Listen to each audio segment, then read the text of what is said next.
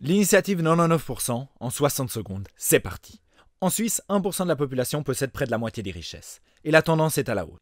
L'une des principales raisons est le revenu du capital. En termes simples, il s'agit de l'argent que vous obtenez grâce au simple fait que vous possédez déjà beaucoup d'argent. Les dividendes ou les intérêts, par exemple.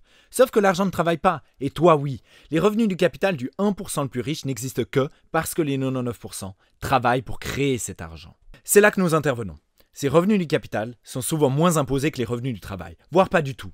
L'initiative 99% veut changer cela. La part des revenus du capital dépassant les 100 000 francs par an devrait être imposée 1,5 fois plus que les revenus du travail.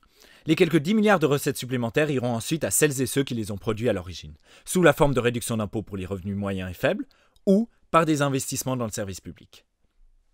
C'est donc très simple.